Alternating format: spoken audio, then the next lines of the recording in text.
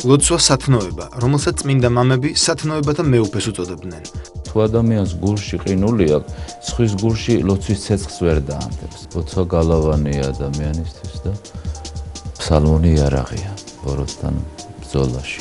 ლოცვის მნიშვნელობა, მისი ზეგავლენა ადამიანის ცხოვრებაზე.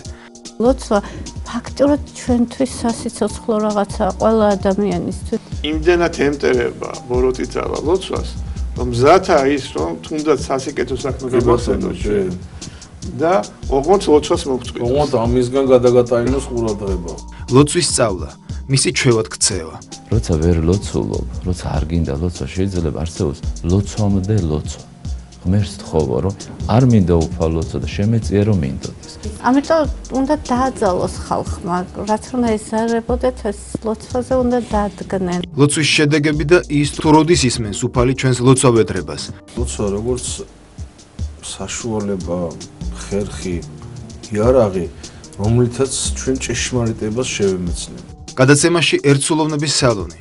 დეკანო ზურაბ ცხოვრებაძესთან და მოწვეულ სტუმრებთან ერთად. შაბათს 21 იანვარს 21 საათსა და 15 წუთზე. განმეორებით კვირას 22 იანვარს 16 საათზე.